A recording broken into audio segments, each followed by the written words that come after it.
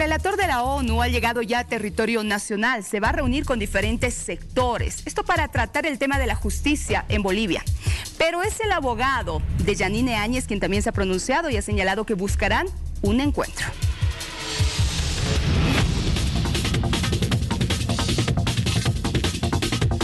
¿Cómo se ha venido gestionando eh, el poder tener una reunión con el señor Diego García Sayán.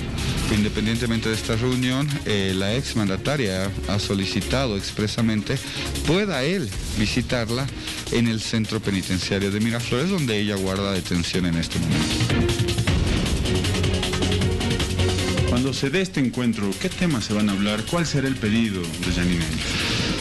Yo pienso que si el señor Sayán eh, ingresa a revisar tanto nuestra normativa como ingresa a revisar tanto el proceso de la ex eh, mandataria, sale a la luz y se evidencian que en el mismo existen características de injerencia por parte del órgano ejecutivo. Estas cosas no, deben de, eh, pasar en un Estado de Derecho y ante estas situaciones, pues obviamente, obviamente el, el señor García Sayán va a poder evidenciar de que no está con una administración de justicia transparente.